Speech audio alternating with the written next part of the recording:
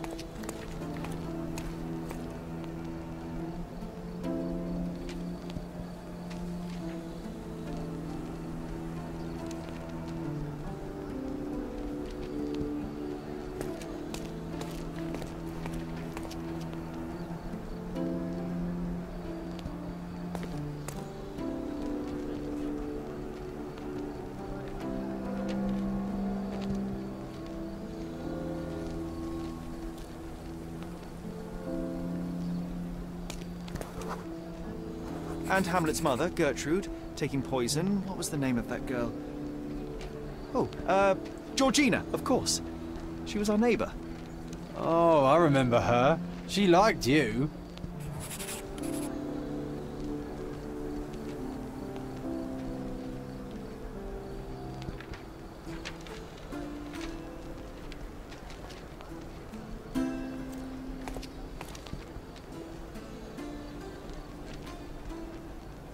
What can I do for you, Sherlock?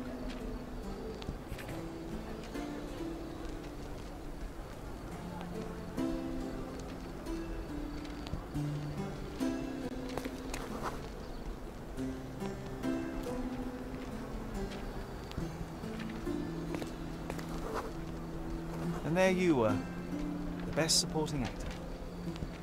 My silent scene partner, my Yorick. Your presence inspired me brought me to tears. Yeah, it hurt to know that's all I could be. Inspiration. I couldn't even play the King's ghost. How's that for irony? To be or not to be? Indeed. I know why you wanted to forget.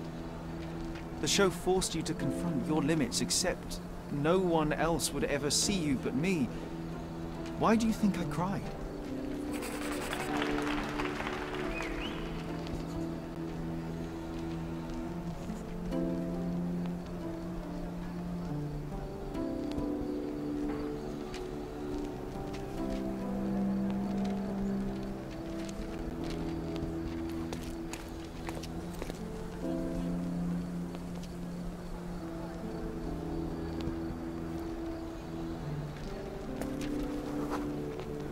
In the end, the audience was thrilled. I can still hear their roars after the final act. You were so pleased with yourself when the theatre director came down to admire your work.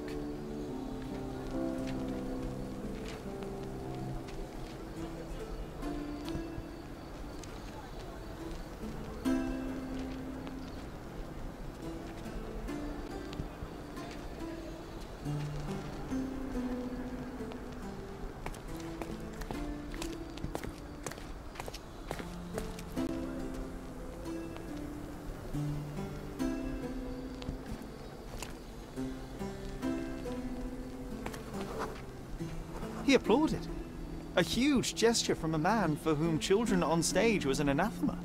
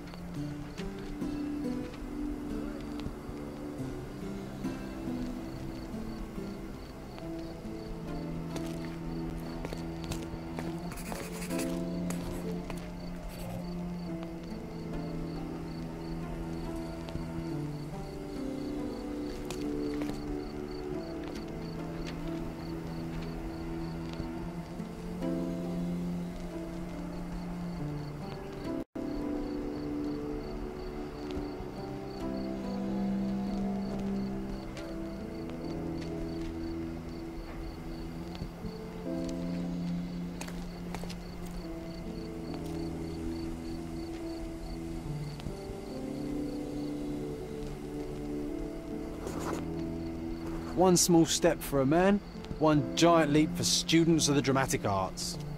Childhood is a time of naivety.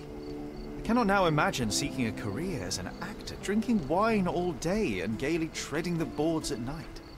Yet you often pretend to be someone else in your search for the truth. You can't act like this side of you disappeared completely. Quite. This, above all, to thine own self be true.